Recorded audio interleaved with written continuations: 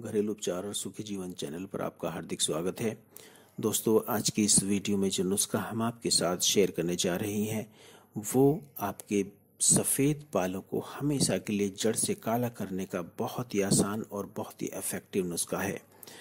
ये नुस्खा जिन चीज़ों से बनेगा वो आपकी किचन में पहले से ही मौजूद हैं और बहुत ही आसानी से, बहुत ही सस्ता नुस्खा आप बना सकते हैं घर पर और इसको बनाना भी बिल्कुल आसान है और इसको बालों में लगाना यानी इस्तेमाल करना भी बिल्कुल आसान है।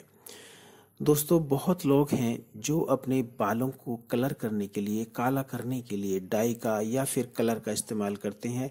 उसमें केमिकल बहुत ज़्यादा होने की वजह से हमारे बालों के ऊपर बहुत ज़्यादा नकारात्मक असर पड़ता है।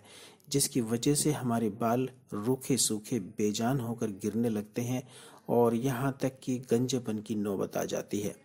दोस्तों, घबराने की कोई बात नहीं है। हम आपके लिए आज एक नेचुरल नुस्खा लेकर आए हैं, जिसके साइड इफ़ेक्ट बिल्कुल भी नहीं है। दोस्तों, जैसा कि आप जानते हैं, पहले ज़माने में बुढ़ापे में ही बाल सफ़ेद हुआ करते थे, लेकिन आज के टाइम में कम उम्र के लड़के लड़कियों के बाल भी सफ़ेद होने लगे हैं, वो भी बहुत तेज़ी से, जो एक चिंता का विषय है। लेकिन दोस्तों, घबराने की कोई बात नहीं है। आज हम जो नुस्खा बता रहे हैं, आपको वो बिल्कुल नेचुरल है और इसके साइड इफ़ेक्ट आपको बिल्कुल भी नहीं होंगे। दोस्तों, ये जो नुस्खा आज हम आपके साथ शेयर करने जा रहे हैं, इसके साइड इफ़ेक्ट बिल्कुल भी नहीं है। ये आपके बालों को हमेशा के लिए काला बना देगा। इस नुस्खे को बनाने के लिए आपको सिर्फ़ 10 ग्राम काली मिर्च चाहिए, जो आपके किचन में पहले से ही मौजूद होंगी। और 10 पत्ते चाहिए, करी पत्ते। वो भी आपके फ्रिज में सब्जियों के साथ रखे हुए होंगे और 100 ग्राम पानी चाहिए।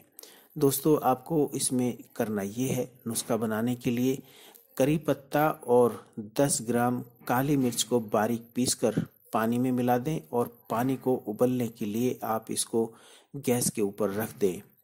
पानी जब तक उबालें, जब तक ये पानी आधा ना रह जाए, यानी पानी जब 50 ग्राम रह जाए, तब आप इसको गैस से उतार लें और ठंडा होने के लिए रख दें।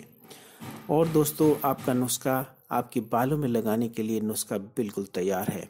जब आप नहाने के लिए जा रहे हों तो नहाने से आधा घंटा पहले अपने बालों में इसको अच्छे से लगा लें और आधा घंटे के बाद नहा लें, अपने बालों को शैम्पू कर लें और साफ़ कर लें।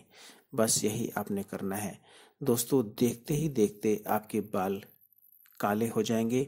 अगर आप इस उपाय को हफ़्ते में दो से तीन बार कर लेते हैं तो यकीनन आपके बाल बहुत जल्दी सफ़ेद से काले हो जाएँगे और बिल्कुल जड़ से काले हो जाएँगे।